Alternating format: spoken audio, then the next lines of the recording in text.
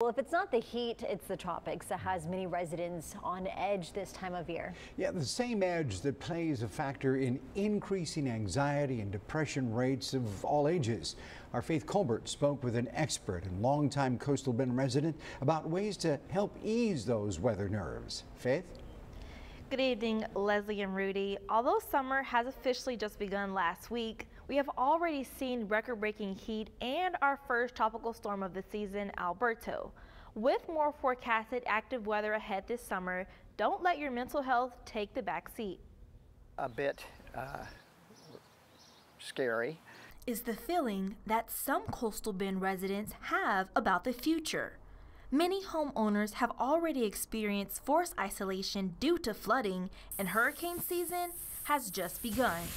I was literally flooded in for, for three days, and uh, even on the fourth day, it was still wet out here and, and under a little bit of water. Now, even if someone decides to leave and come back after a storm, there's still a looming fear of not knowing what damages may be awaiting once you return. That's why preparing ahead is always the best way to give yourself some peace of mind. We raised the um, bulkhead here uh, out in, on the that fronts the canal uh, plus the uh, boat slip, uh, 18 inches.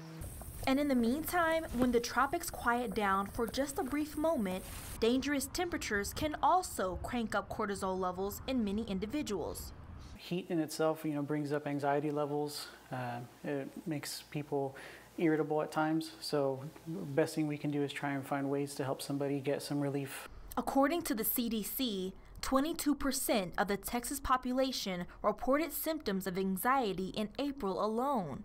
Whether anxiety medication is needed for more serious cases that spike in the summer, or even just putting yourself on a cooling schedule, can make all the difference when it comes to mental stability during this time of year. Always have at least two weeks maybe of medication on hand, um, so that way, um, if you if you do have to evacuate, you have you have all that you would need to hold off um, for a few days. And as temperatures continue to reflect summer and as hurricane season runs its timeline, it's likely we'll see anxiety numbers increase as time goes on. This is why if you are dealing with depression or anxiety, help is just a call away. We will have resources linked to this story on our website at KIIITV.com.